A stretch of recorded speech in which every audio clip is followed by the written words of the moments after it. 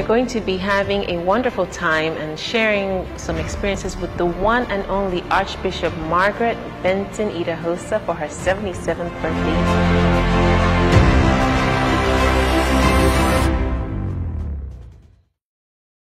Brother Benson and the child walked out of the room.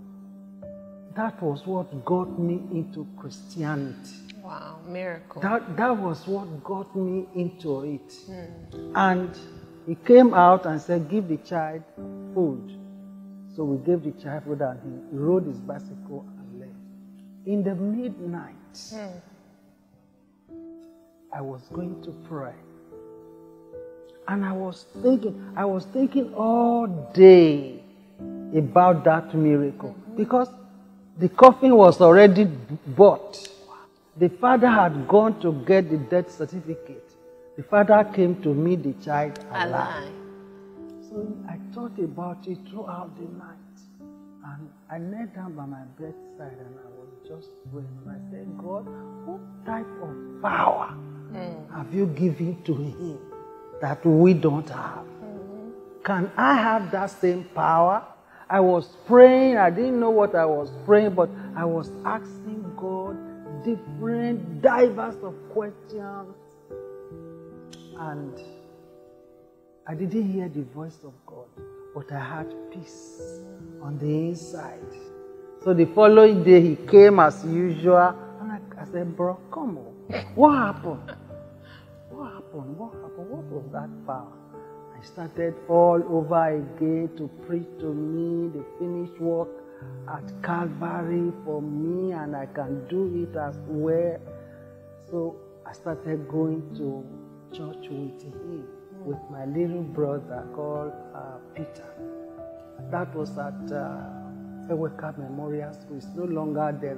That is where uh, the Ministry of Education was before they moved to their permanent site. We started going to church and all that. And when it was time for me to get married, my father said, No, you cannot get married to Hallelujah man.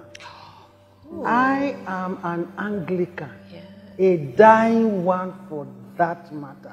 Okay. And an elder and whatever they are in whatever. And he said, No, you cannot. I said, okay. What do we do now? Brother Benson said, No, just give him time. Let's pray. So we started praying and all that.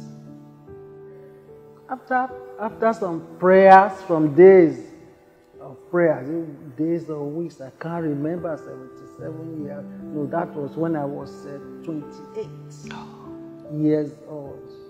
But after the prayer, nothing happened. My father was adamant and he said, No, you will not allow, allow us to get married. But my mother said, Marry who you want to get married to. Follow your heart, Wow. follow your mind. So my mother was behind me, and so I was very, very happy. So we got married. He didn't come, but the brother came. Mm-hmm. All the other brothers came, but he didn't come. But we got married. I'm glad that uh, before he passed, we were his darling. Oh, yes, I remember. We changed, we changed his house, we changed the furniture, we gave him all that he couldn't get for working in the uh, PWD for years. And he was happy. He would come spend uh, some time with us Yes, and we would take, we would take him home. So that was how uh, that one happened. You asked a question. If, uh, um, if I want to advise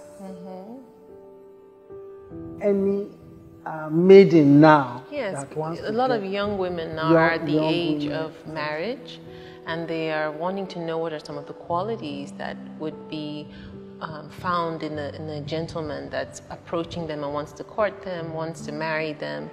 And um, sometimes the society gives such a different view of what are the values that should be reflected um, in, in these grooms. And so if you could just shed a little bit of light, you kind of mentioned a few things about, about your husband, that he was a generous man, he was a kind man, he loved to share, and um, he was like a brother to you. So I, I would like maybe just mention a few more um, things that you think may be important for them to look out for um, in this time? In this time, the 21st century, I will advise a young lady that wants to get married. Number one, make sure that person has a job.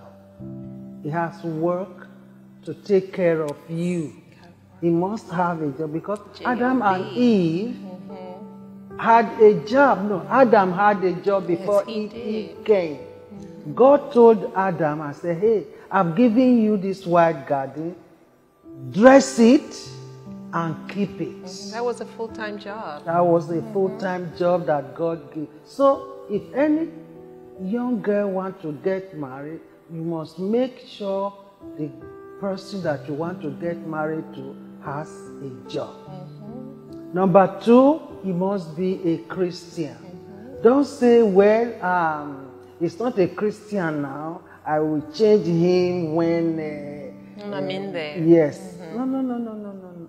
If he's not a Christian, he will not be a Christian then. Mm-hmm. So you must be a Christian, and not only that he goes to church, mm. you must make sure that he is truly born again. And uh, there are some that uh, fake it, mm-hmm. that they are born again, and, and after marriage, you say, honey, let's pray. say, oh, just pray for me, and, mm-hmm. and that's it. Mm-hmm. And that is problem. It's, it's, it's, it's, it's a catastrophe yeah. when you get married to an unbeliever. The Bible says, don't be yoked. Equally yoked. That's right. Don't be equally yoked with unbeliever.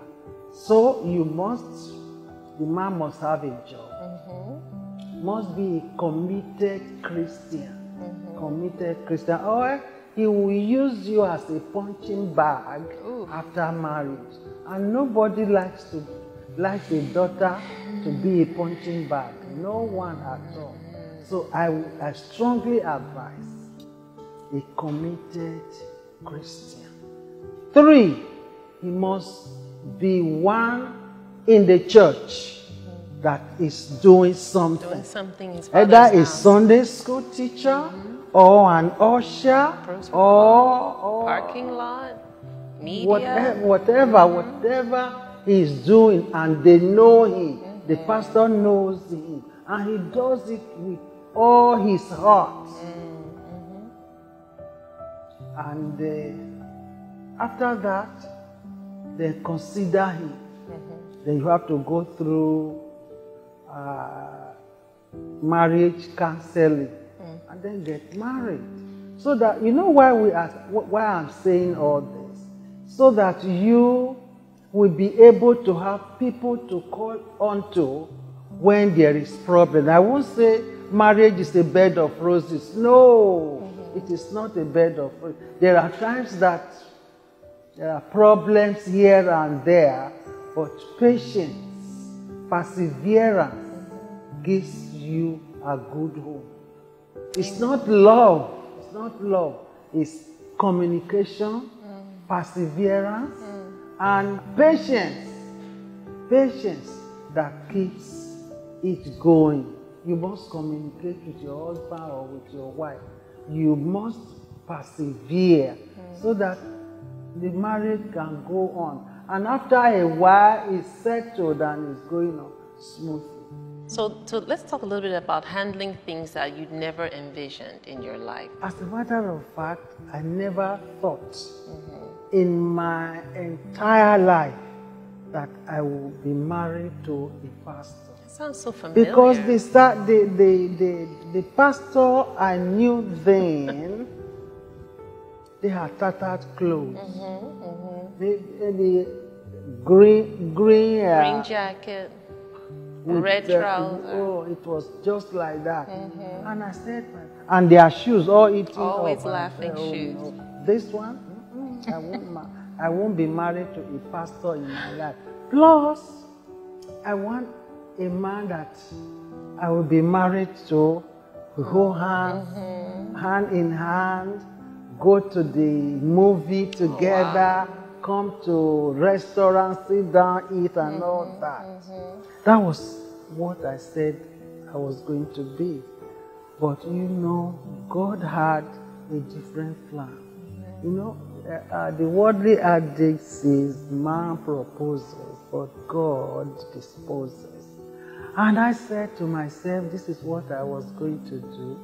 But when he came along, everything changed. Mm-hmm. I believe he prayed because these are the things that we used to sit down to talk mm-hmm. when uh, he hadn't proposed mm-hmm. to me. when you were single. Yes, when, when I was single, we'd sit down, we'd talk, and said, and you ask me what type of man will you be married to? I said, what type of woman will you uh, be married to? You know, we're talking here, talking here and there, but I never thought I would, I would be married to a pastor.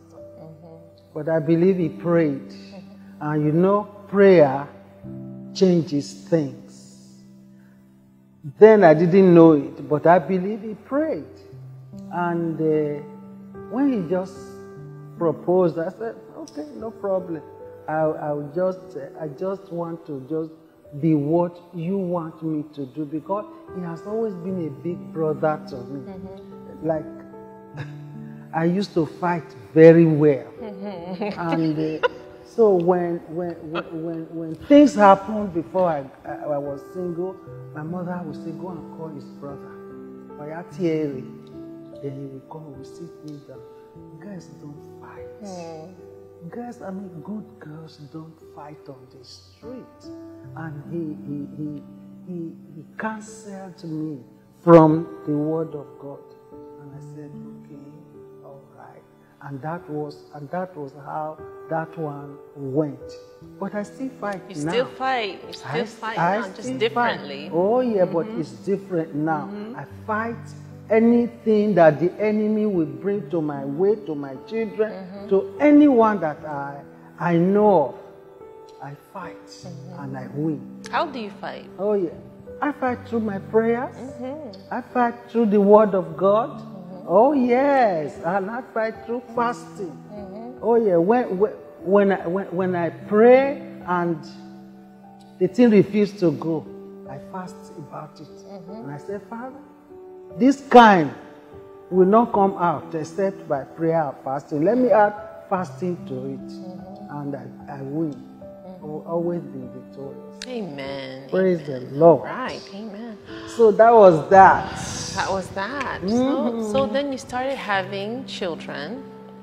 And well, you didn't have children immediately, and so that was a journey for you. And I Oh, wanted, and I wanted us to talk a little bit about that because there are women who um, have challenges with childbearing and have are having a lot of stigma from the society, and a lot of things that you can you could relate to at the time. And I, if, I just wonder if you have a word of encouragement, and to tell us a little bit about how that journey was for you as well. When I got married, I didn't have children on time. But you know, the concept of Africans or Nigeria, when a woman is married, the next six months they are expecting your stomach mm-hmm. to be protruded. Or it's either that one before you get married. But my case was different. First year, there was no child. Mm-hmm. And I passed through hell from my family and your family. I passed through here. But My you family? Yeah, of course, your people. your people. your My people. Oh yeah. There was a time they called me and said, uh, "We want to know who is a man." Yeah, I remember you." this story. Oh yeah. Whether you are the man or You've told us this story several times. That's such a man. painful. I want to know who is the husband, Yeah. Who is the wife. Wow. wow. And in another incident, then we had a motorcycle, we were mm-hmm. riding motorcycle. They called him in the family house. And they said, when you are coming, don't bring Margaret. And he said, why? Margaret is my wife. I have to. So we went. He took me in his bag. We went to the family house. When we got to the family house, he said, you brought Margaret. No, we don't want her in. Mm. My husband said, why? He said, because we want to talk to you alone. I said, and he said, what you want to tell me, if you mm-hmm. cannot say it in the presence of my wife, mm. then that thing is not important. Mm. And do you know what he did? He left them. Wow. I said, Margaret, sit down my, my back. We sat down and we went home. And they left us alone. Alone. They Mhm. left us alone. Yeah. After the second year, no child coming. The second year, and I went everywhere. There was one doctor, Dr. Ogunro. Mm-hmm, he was mm-hmm. the best gynecologist then in our time. So my husband paid a lot of money and he said, go and see that man. Mm. So I went to see him. He went to work and I went to see him. And he looked at me, he examined me. Said, My darling, let me be frank with you. Mm-hmm. You can't have children. Wow. And I said, How? He said, Because every womb is like this mm-hmm. to receive, but yours is like this. Mm-hmm. It's tilted. Tilted. It cannot carry children. From Mission Road, I started crying Fine, yeah. down to New Benin. I cried my eyes out. My husband came in the evening. I said, What's wrong? I said, This is what Dr. Oguru said. He said, Margaret, if I be a man of God, God will give us children. Mm-hmm. Unless if he has another God that he is serving behind, mm-hmm. and or you. I said, I don't have any other God.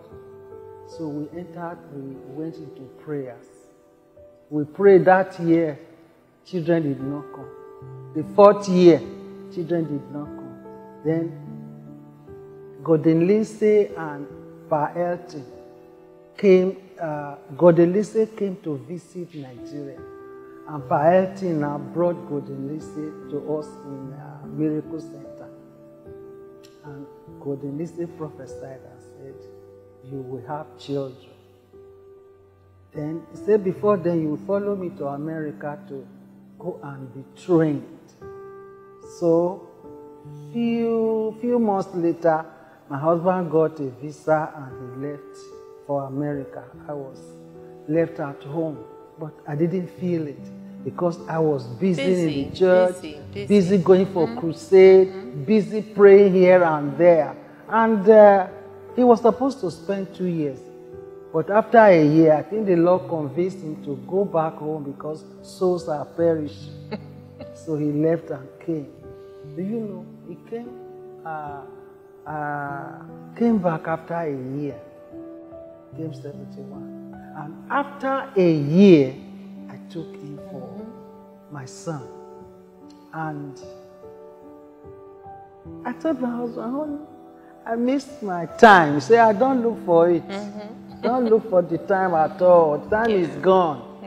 And nine months later, I had uh, my son. Six months later, I was pregnant. I went to uh, uh, London in uh, Leeds. Leeds, I yeah. was in Leeds for uh, more than a year. I was pregnant before I left, but nobody knew it. One person knew it. That was Uncle Gabe.